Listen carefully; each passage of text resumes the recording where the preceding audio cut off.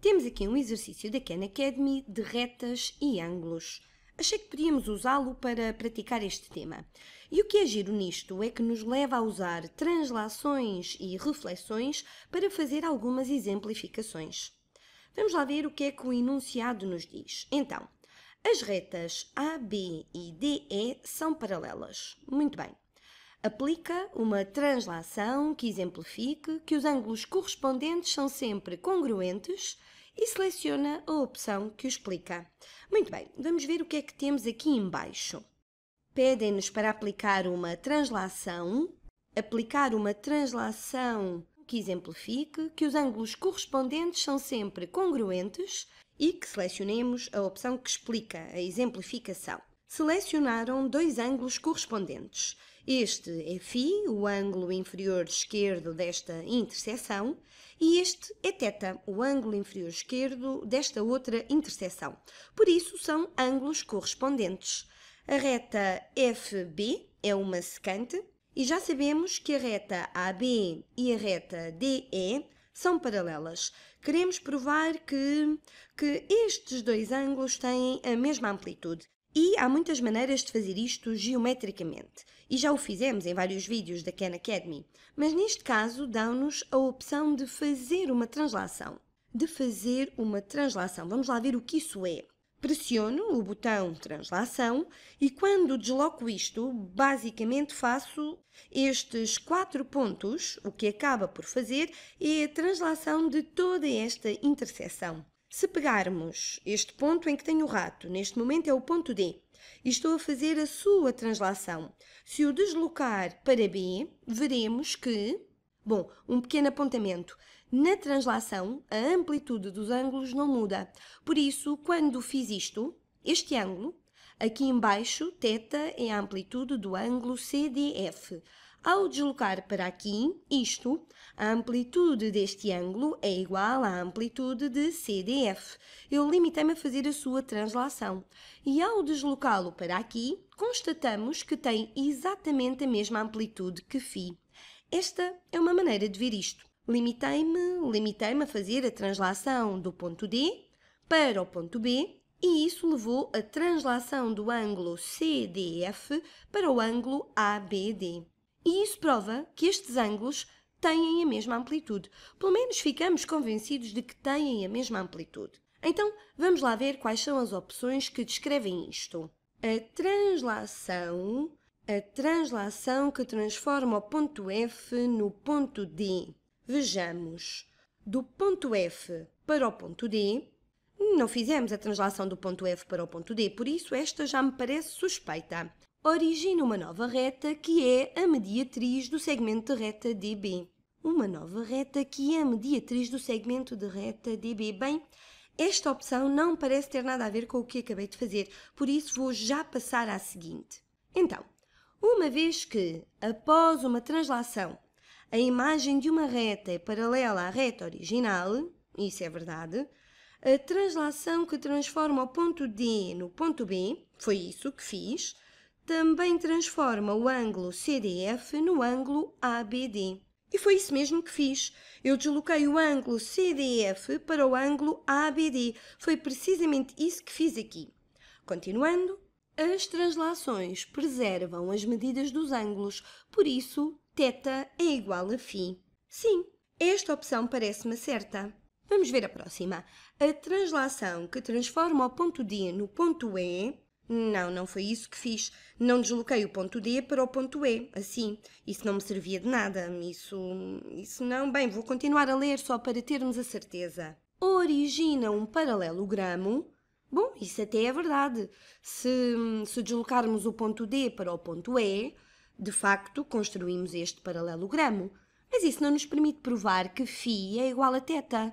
Por isso esta também não me agrada. E ainda bem, porque a opção certa parece-me ser a do meio. Está certa. Vamos resolver mais um exercício destes. E dizem-nos: considera as retas A, B e CD. Qual das seguintes afirmações exemplifica que ângulos verticalmente opostos são sempre congruentes?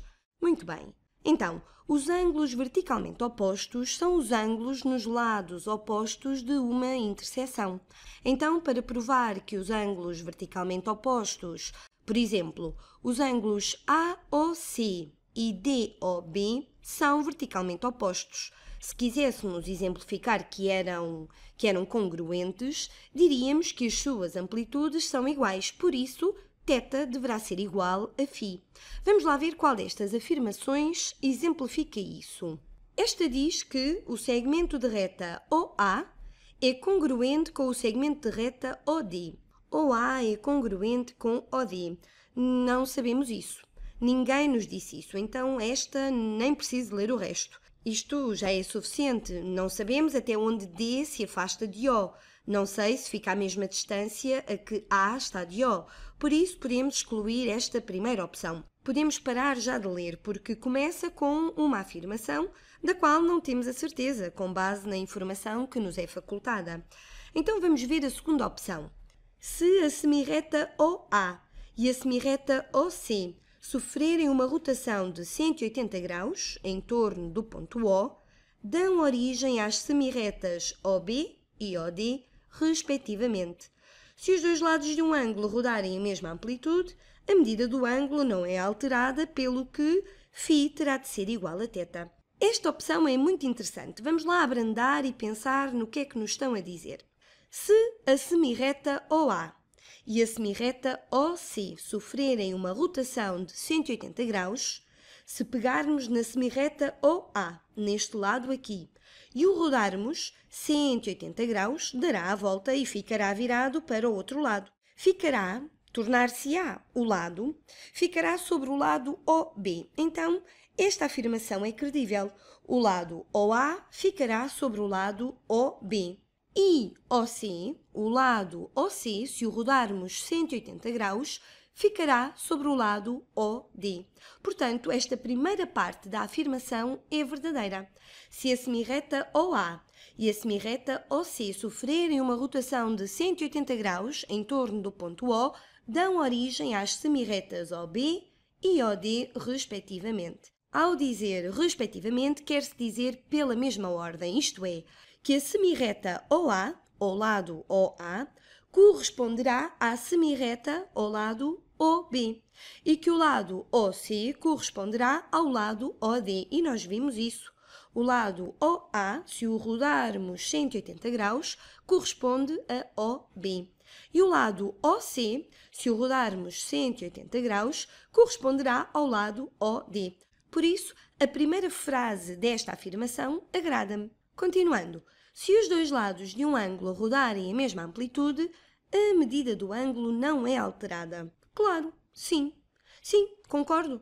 Se os dois lados de um ângulo rodarem a mesma amplitude, a medida do ângulo não é alterada. Então, se rodarmos estes dois lados 180 graus, eles terão correspondência com OB e OD. Ou, por outra perspectiva, este ângulo, o ângulo AOC, vai corresponder ao ângulo BOD. Portanto, a amplitude desses ângulos será igual. Logo, φ tem de ser igual a θ. Esta segunda afirmação agrada-me bastante. Vamos lá ver a última de todas. As rotações, as rotações preservam os comprimentos e as amplitudes. O segmento de reta AB é congruente com o segmento de reta CD. Bem, na verdade, não sabemos se o segmento não sabemos se o segmento de reta AB é congruente com o CD. Ninguém nos garante isso. Não sabemos quão afastados estes pontos estão. E a frase continua a dizer: por isso sabemos que φ é igual a θ. Esta afirmação é suspeita. Não, definitivamente não me agrada. Por isso, vou optar pela segunda. Requer alguma visualização, mas se pegássemos no ângulo AOC e o rodássemos 180 graus, ou seja, se pegássemos nos lados correspondentes, nos lados que compõem o ângulo, e os rodássemos 180 graus, obteríamos o ângulo BOD. E o ângulo entre esses lados ou a amplitude do ângulo de que estamos a falar, não muda. Por isso, esta segunda opção parece-me certa. E já está.